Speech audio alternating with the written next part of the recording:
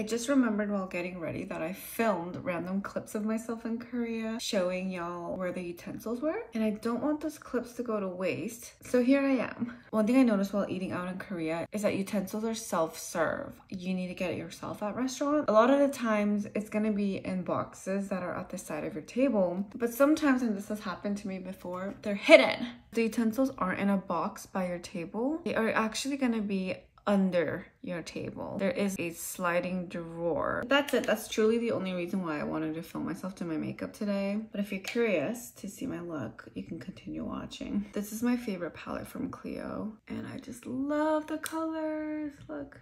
Also, this headband is from Versed and I wear it every day.